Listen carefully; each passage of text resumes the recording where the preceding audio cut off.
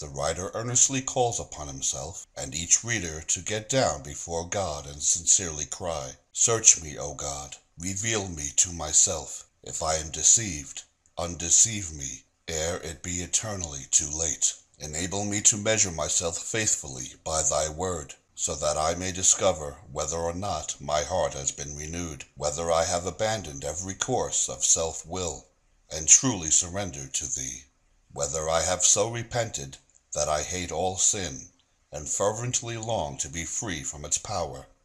loathe myself and seek diligently to deny myself, whether my faith is that which overcomes the world, 1 John 5 4, or whether it be only a mere notional thing which produces no godly living, whether I am a fruitful branch of the vine, or only a cumberer of the ground. In short, whether I be a new creature in Christ, or only a painted hypocrite.